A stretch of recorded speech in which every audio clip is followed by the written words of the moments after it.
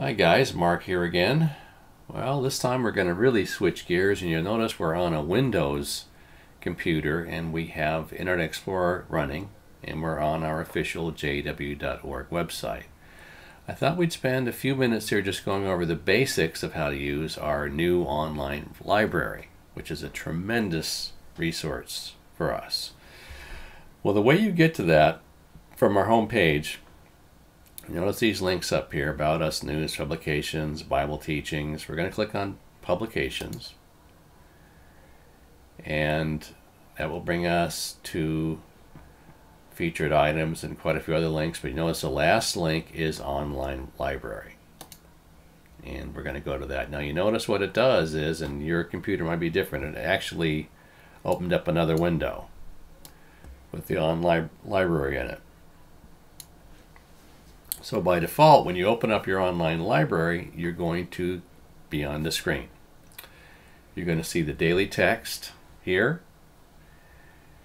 And you'll notice that every scripture reference is in blue, which means it's a hyperlink or text you can click on and do something with.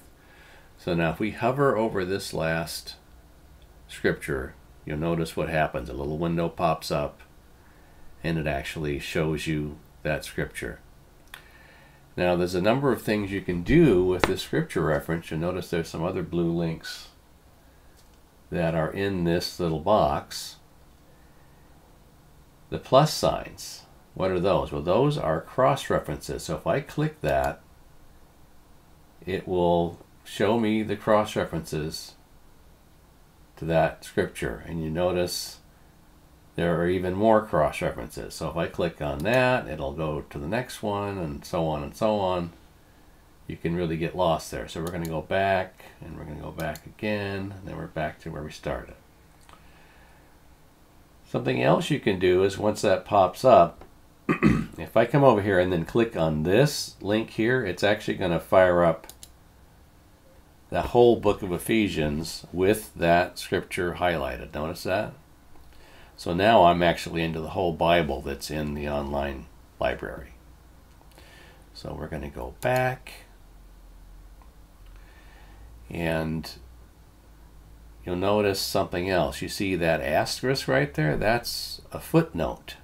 So I click on that, we see a footnote on that verse. And that applies to all the scriptures that have footnotes. Now, if I don't hover over but click on it, it's going to do the same thing uh, as it happens if we click on it in the box. It's going to actually take you to that scripture in the context of the rest of the chapter there. So we're going to go back. And notice down at the bottom, this is the Watchtower article that this text is taken from. If you hover over it, it will pop up a little window with part of that article that the text is based on. If you click here, it's going to actually take you to that whole article it's taken from. You'll notice the part the text is based on is highlighted in blue. Now we're going to go back. So that's basically how you use that. So by default, this is what comes up on the home page. Now, how about some of these links here?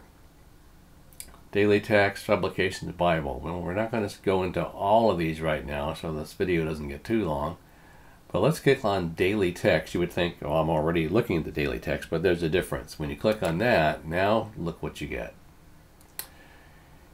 You get a little navigation bar here, so you can go to the previous day, or you can move forward a day, or you can go to today by clicking on that. And if you go way over here, it will click forward a week at a time. Click back a week at a time. Okay? This is basically the same text that we saw on the other screen. But notice you've also got the school schedule for the week. Hover over those links, it actually brings up Bible reading. It brings up the material for the number two talk. and this is the article that's going to be considered during that week for the Watchtower study. So it actually brings up those up. It shows you what songs we're going to sing.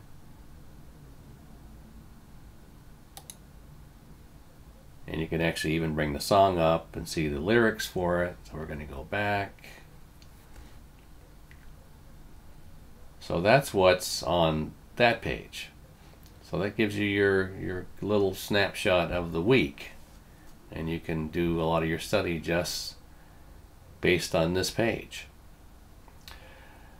So that's it for this one. In a future video, we're going to get a little more into what else you can do in the online library. Bye for now.